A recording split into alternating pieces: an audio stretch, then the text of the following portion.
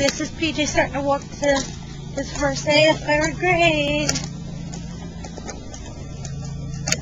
PJ, say hi.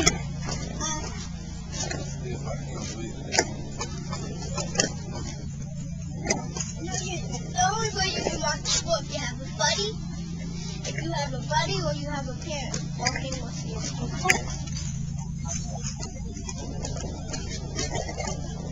Alright, we'll catch more video in a minute. Say bye. Bye.